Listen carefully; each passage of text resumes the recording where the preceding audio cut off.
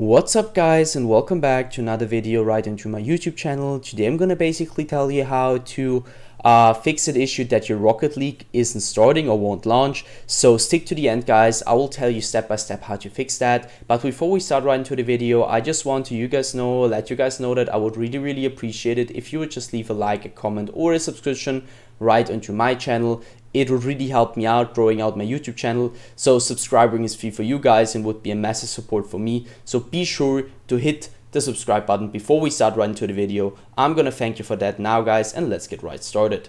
So there's basically two ways or two options how to solve that issue. The first one, you need uh, Epic Games on your um, desktop somewhere so your, your icon basically and uh, you left click it and then right click it uh, once you're here, you're gonna basically run it as an administrator.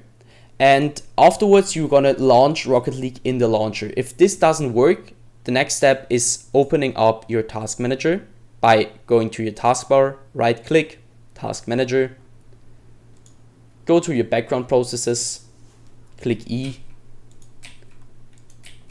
and check if Epic Games is in the background. If it is, just end the task.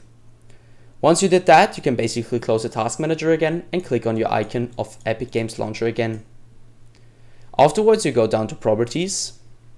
And once this window pops up, you go to compatibility. Once you're here, you check if you can basically enable run this program in compatibility mode 4 and go for Windows 8. And check if your disable full screen optimizations is disabled. Afterwards, you need to check if you could enable run this program as an administrator and hit apply afterwards. Then the same thing uh, repeats itself, just go to Epic Games or start Epic Games Launcher and afterwards launch your game via the Epic Games Launcher.